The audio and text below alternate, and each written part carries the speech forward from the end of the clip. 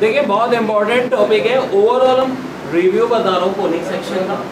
ई gate के लिहाज से बहुत इंपॉर्टेंट डजेंट मैटर चाहे आप एन दे रहे हो नस दे रहे हो फास दे रहे हो। सर्कल की पैरामेट्रिक इक्वेशन होती है x equal to a cos theta y इसको करेक्ट कर लें y equal to a sine theta और x equal to a cos theta ये तब की है जब सर्कल ओरिजिन पे हो सेंटर ज़ीरो ज़ीरो वैसे ही अगर हमारा पैराबोला होता है y square equal to four x तो इसकी पैरामेट्रिक इक्वेशन और से देखें x equal to a t square y equal to two a t दूसरी बात, अगर एलिप्स की हमें पैरामेट्रिक इक्वेशन चाहिए, बहुत आते हैं में x equal to a cos theta y equal to b sine theta numerical के तौर में भी आ सकता है कि आपको दे दें equation x square upon sixteen plus y square upon nine और कहते हैं भाई पैरामेट्रिक इक्वेशन बताओ थीटा भी कोई ना कोई दिया हुआ होगा तो हमारा एक्स और वाई आ जाएगा।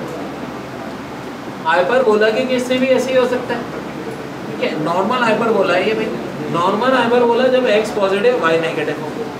तो एक्स ए सेक थीटा है वाई बी टेन थीटा है। अगर मेरे भाई यहाँ सेंटर नहीं होता ज़ीरो कॉमा ज़ीरो एच के होता तो यहाँ एच और के प्लस हो जाते हैं। यहाँ भी एच और के प्लस हो जाते हैं।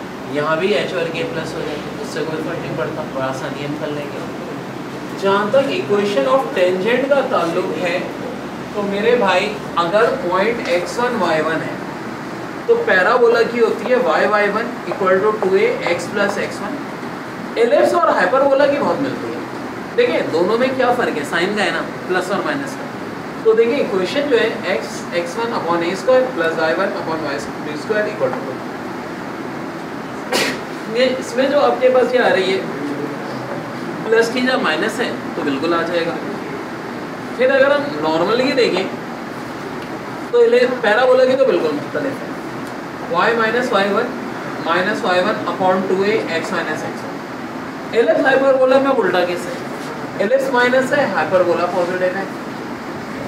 A square x upon x one minus b square y upon y one equal to a square minus b square और हाइपरबोला की क्या हो जाएगी? X square upon a square minus y square upon b square equal to a square x upon x one plus b square y upon y one equal to a square plus b square one of the most important overall मैंने आपको review दिया है conic section का। ये सारे point बहुत हैम हैम हैम है एग्ज़ाम के लास्ट आज बड़ी इंपॉर्टेंट एक और वीडियो मैंने सुबह में डाली है आई नेम ऑफ़ एलिमेंट्स वो भी सब लोग ज़रूर देखिएगा, वो भी